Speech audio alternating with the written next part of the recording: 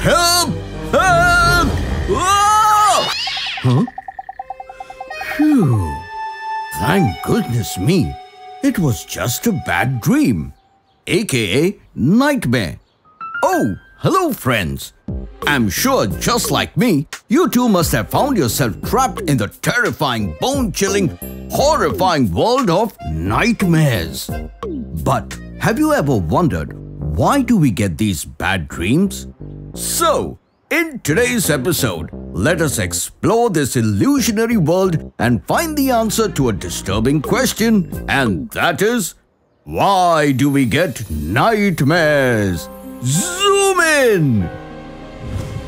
Nightmares, also known as bad dreams, are vividly realistic, disturbing dreams that most often occur during rapid eye movement or REM sleep when most dreaming takes place.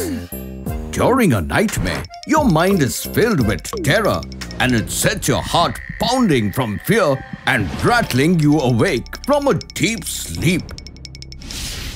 But despite their bad reputation, you will be surprised to know that nightmares are actually helpful.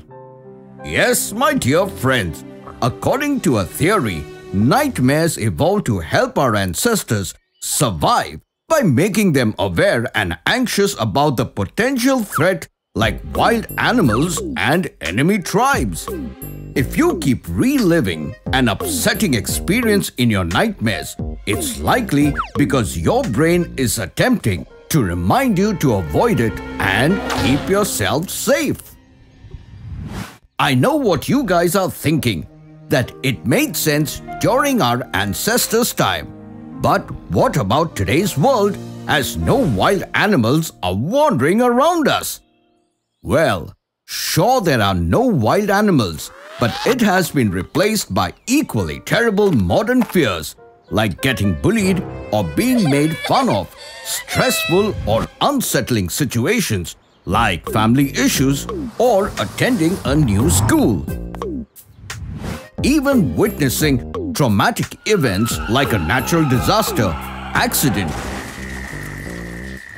or injury could trigger the same kind of nightmares that other fears caused in the past. But the good news is, just like in the past, these nightmares can help you deal and overcome your problems. But here is an important question. Is there any way to prevent these bad dreams from haunting us? Well, even though bad dreams can't be conquered completely, there are a few steps we can take to minimize its occurrence, like getting into a healthy sleep routine by trying to go to bed about the same time and waking up at the same time every day. Sleeping with your favorite soft toy could make you feel more secure, or try to sleep with the lights on or door open which could help you remember that your family is close by, making you feel safer and sleep tighter. Trivia time! Did you know late night snacks could cause nightmares as well? Yes! Eating right before bed can increase your metabolism and signal the brain to become more active, which ultimately leads to nightmares. Another thing that may cause nightmares is watching scary movies or reading scary books, especially before you go to bed. So, try to avoid these habits if you want to have a lovely good night's sleep. It's question time! Today's question is What is the full form of REM?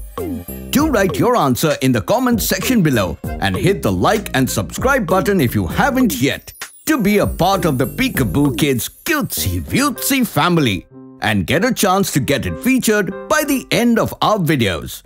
So, here are the winners of the previous episode. Hope you enjoyed today's episode. Until next time, it's me, Dr. Binocs, zooming out.